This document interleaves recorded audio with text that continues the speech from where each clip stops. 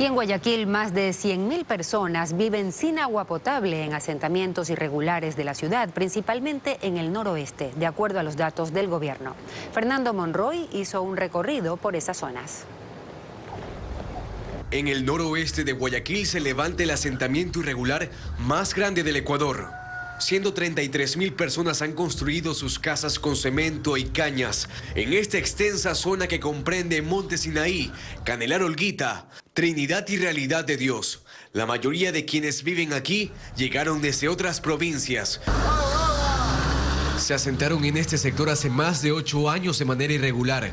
Miles entraron en un proceso de legalización en el 2013, pero los servicios básicos son aún escasos, fundamentalmente el acceso al agua potable.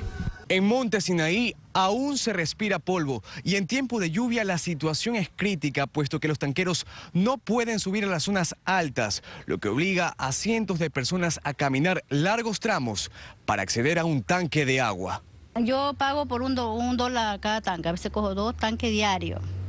Imagínense, y saque las cuentas, ¿cuántos en la semana? Ahí a veces no hay trabajo, hay, hay, a veces nuestros maridos están desempleados. El extenso terreno que está ubicado al noroeste de Guayaquil tiene unas 800 hectáreas y fue dividido en el 2013 a través de una reforma de ley que indica que el Ministerio de Vivienda está encargado de aproximadamente el 70% del territorio, mientras que el municipio el 30%.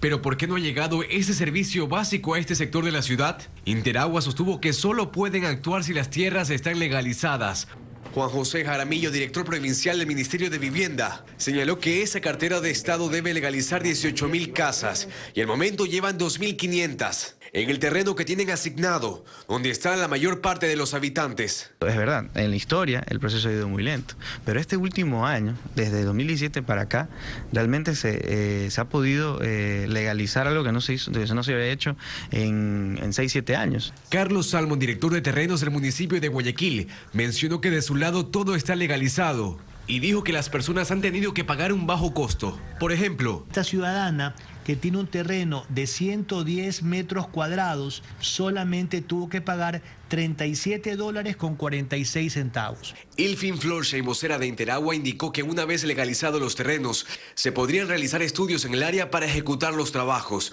pero mencionó que también se debe invertir alrededor de 70 millones de dólares en un nuevo acueducto y sistema de distribución para llevar el agua a ese sector, inversión que aún no está confirmada.